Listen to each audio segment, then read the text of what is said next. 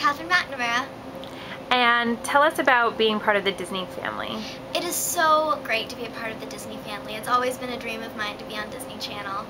And it's it's really great to meet all these people that I've watched, you know, growing up. Like I just got to meet um, Ashley Tisdale the other day when I went to a screening of her new movie. And uh, Bradley S. Perry from Good Luck Charlie and, and the other Good Luck Charlie people I just got to meet, which was so fantastic. And hopefully I'll get to meet more people too.